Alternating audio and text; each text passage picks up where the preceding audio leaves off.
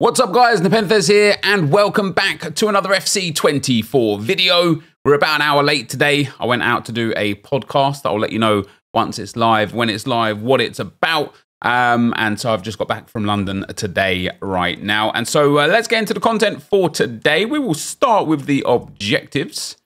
Have we got anything new in live? No, we have not. Have we got anything new in seasonal? We're actually getting quite close to the end of... Oh, my bad. We're actually getting quite close to the end of the seasonal content now as well, aren't we? Or the end of the season now. Not too, too long left. Uh, milestones, unless we've uh, got anything new here which we have not, and of course, nothing in Foundations. If you want to be able to afford the best players and open the best packs in FC24, go to u7buy.com to buy your EAFC24 coins. It's cheaper than buying FC points and just as reliable. They already offer some of the best prices out there, but you can get an extra 6% off using promo code NEP at checkout. And so with that, guys, let's see if we have got anything in Evolutions. We are expecting some Trailblazer Evos. There is nothing new in Evolutions either, unfortunately. And so uh, Store and SBC is what it's going to be. I've got 10 of the 80 plus packs that is here from today. Uh, we've got the Deluxe Trailblazers pack and Premium Season Opener packs still there. And of course, we've got our Premium Gold pack as a review pack. What have we got? Nothing worth anything in there. So let's have a little look at the SBCs then, guys. As I say, the 80 plus uh, is there. Have we got any new players today? We've got Son, Leão, Bergwijn, Bellerin, Dynamic Duos, Benini, Sarr, Rice, Kubo, Jimenez, Van der Sanden, and Angeliño. So no new players today. In terms of the upgrade, it's just the 80 plus. No, it's not. We've also got a prime bronze players upgrade. So for a prime bronze players pack, I guess this is to try and get Mainoo um, that's a that's a madness to be fair, isn't it? You got to submit a bronze squad with three rares to get back a prime bronze player pack. I mean, you get back twelve players, six rares, six commons. Um, so it, it's it's an upgrade, which is good from EA, I suppose. And then we've also got the prime silver upgrade pack as well uh, that you should just be completing every day because it's like a free shot at one of the uh, the good selling bronzes or silvers. There's probably uh, a handful of silvers, especially the right backs from like big clubs or with lots of pace. And then from the bronzes, there's like maybe like three or four players. I think Rico Lewis is selling and a few others. Other than that, there's nothing there. We have got Trailblazers Challenge 2. This is for a mega pack. It is untradeable, the mega pack. It's going to require an 80 rated team with 31 chemistry, four rares, one club minimum three, countries or regions maximum two, first own players minimum three, I don't know if this is EA's way of trying to make cards sell for something, but I honestly think most people will have this just untradeable in their club. You know, you just take one league and one nation from said league. Premier League in English is obviously really healthy, really easy, but you can also do German from the Bundesliga, Spanish from the Spanish League, which is also very, very good, and French from the French League, which is also very, very good. And for 11 players, untradeable 80 rated, which is the SBC's probably like like 8,000 coins for an untradeable mega pack, it's not too bad. The only thing I would suggest that you do in this challenge, guys, is do your very best to use untradeable players in the challenge. And then for icons, I heard the rumors and I saw the leaks. Laurent Blanc. This card is brilliant, right? 6'4, medium high, 2 star, 3 star is incredible. He can play centre back and cam. That's such a wild uh, extra position, isn't it? Do you know why I actually really like the, the cam spot for him? As an extra alternative position because there are some players that you could start in defense that are better suited in midfield that you can now kind of swap with Blanc in the game and start him at cam without having to like find some weird way to start five at the back or three at the back or something. So that's really cool. Um, his pace is good. His defending is great. His physical is very good. His dribbling is very good. His passing is good.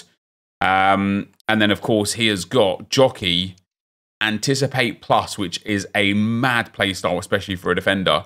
Bruiser and Aerial. Now, for somebody with uh, Aerial and six foot four, with 76 jumping and 84 heading accuracy, it's just it's a very good card. The question is, how expensive is it? So, it's a bronze squad, 11 rares, which is probably going to make that bronze SBC upgrade a little bit even more valuable as well. A silver squad with 11 rares. A gold squad that's just a gold squad for a, a five game loan. So you better, you know, you might as well just get that loan, put him in your team, try him out before anything and see if you want him. Um, and then the first squad is an 80 rated with an Inform and a Marseille player for a small Electrum players pack. We have got an 84 rated, which is also very cheap with a French player for a small Prime Electrum players pack. An 85 with a Premier League player for a small Prime Gold players pack. An 86 with an Inform for a Premium Gold pack. Premium Gold players pack, sorry. And then a rare Electrum players pack for an 88 rated can't help but think that's really, really good value. It's there for 53 days as well.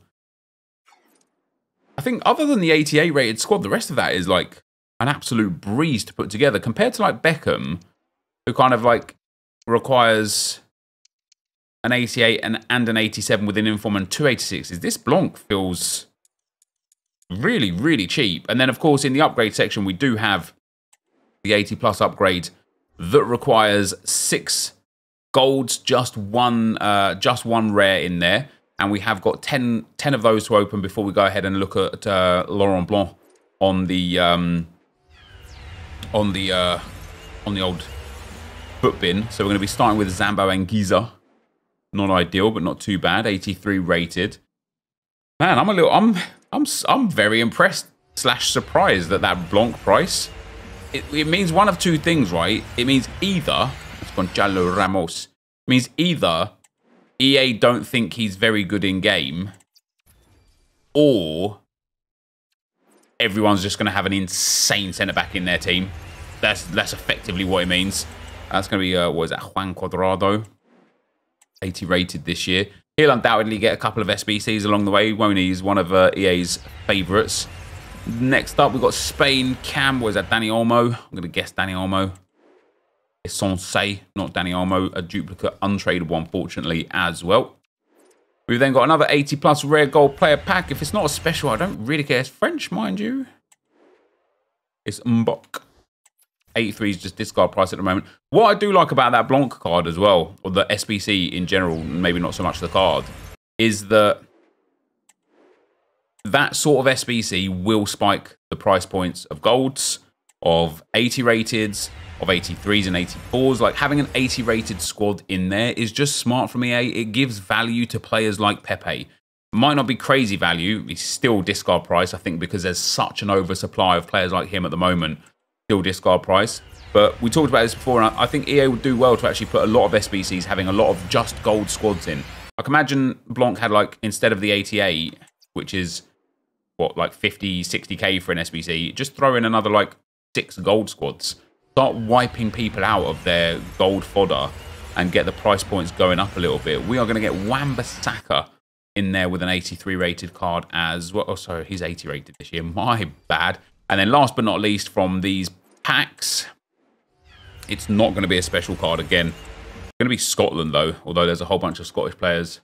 Kieran Tierney, like Kieran Tierney, that aren't very good uh, in game. And then, uh, yeah, for the SBCs, let's have a look. This upvoted nice, this upvoted nice, this upvoted nice. How much is it? 410k. What is his price on the market? Or rather, what was his price on the market? So he was about 500k on PC and about 410k on console. That's actually quite surprising.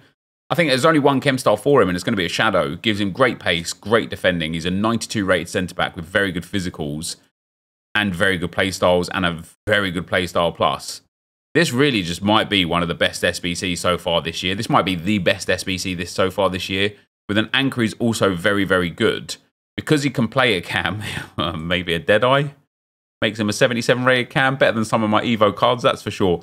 Um, but no, I'd absolutely be going for a shadow on Laurent Blanc, guys. Let me know if you're going to complete that SBC or if you completed it already. Thank you, for, of course, always for watching. Hopefully you enjoyed it, and I will see you next time. I'm out. Peace.